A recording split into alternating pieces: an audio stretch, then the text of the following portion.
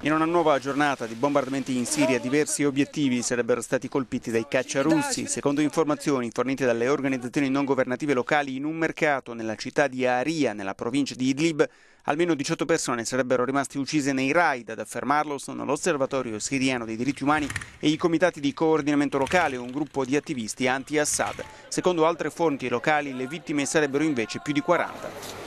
Secondo informazioni non verificabili diffuse dai media locali, nel bombardamento sarebbero state usate bombe a grappolo.